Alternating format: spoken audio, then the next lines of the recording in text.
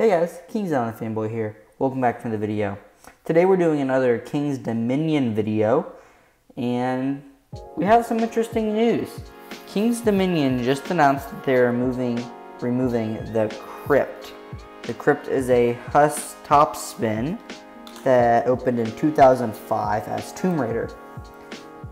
The Kings Island used to have a very large Huss top spin called Tomb Raider the Ride. That is now defunct. The building is still there though. You can still see it at Kings Island.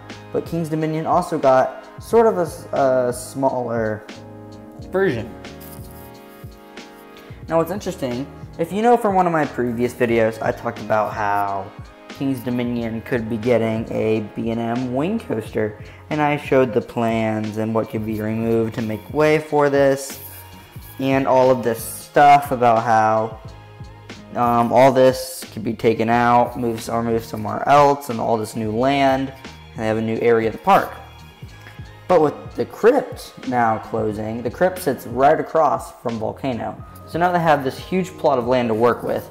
I personally still think they will still use the um, B&M Wing Coaster plans that we saw before. I think they'll still go with that, but now they have more room to kind of switch it around a bit, add some queue line, maybe add a new restaurant, or maybe another flat ride in the area. But it, it definitely allows them to do a whole lot more with the area. Who knows, they could even not go with the plans we saw for the B&M Wing Coaster. They could go for something completely different. But now they have a whole lot more land to work with now that the crypt is gone. So um, it's just a bad thing that they're removing it.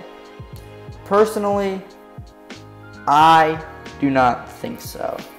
I think um, it, it, it, sorry, it opened in 2005. It's 2020.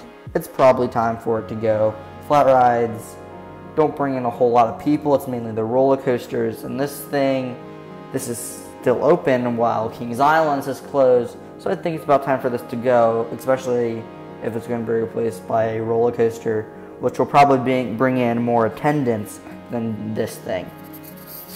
So, yeah, I definitely think they'll go with the original B&M wing coaster plans we saw before. But now they have a lot more room to add more things, uh, extend the queue line, maybe add another flat ride there or something. Yeah, well, that's all for this video. I want to thank you all for watching, and I will see you in the next one. Bye.